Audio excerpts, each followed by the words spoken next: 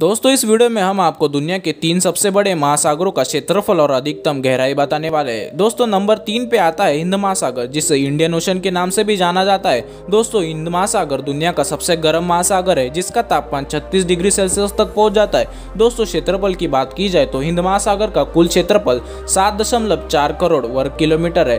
दोस्तों, इसकी अधिकतम गहराई आठ हज़ार मीटर है। दोस्तों, नंबर दो पर आता है अटलांटिक महासागर। अटलांटिक महासागर दुनिया का दूसरा सबसे बड़ा महासागर है जो क्षेत्रफल में दस दशमलव पैंसठ करोड़ वर्ग किलोमीटर तक फैला हुआ है और इसकी अधिकतम गहराई 9,200 मीटर है।